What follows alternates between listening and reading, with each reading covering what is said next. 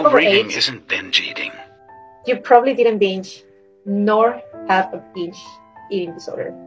But it doesn't mean that it should be always okay.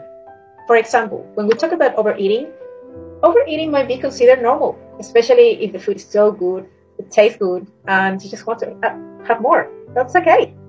Uh, but if it's always like that, then it's not okay. Especially if there's a point that it might affect your body image uh, or your body composition, and then your body composition, because of those changes, then leads to poor body image. So, coming back, do you feel in control when you're overeating? And you also could stop if you wanted to.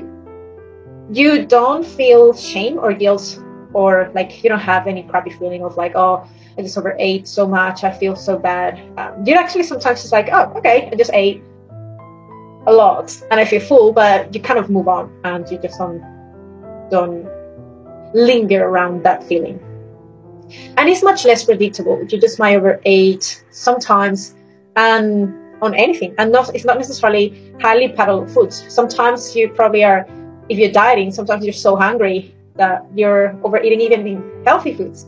Like sometimes I'm so hungry that I could eat two bags of cauliflower rice, cheese, coated cheese, and I can eat a lot of it. And I consider that sometimes I overeat.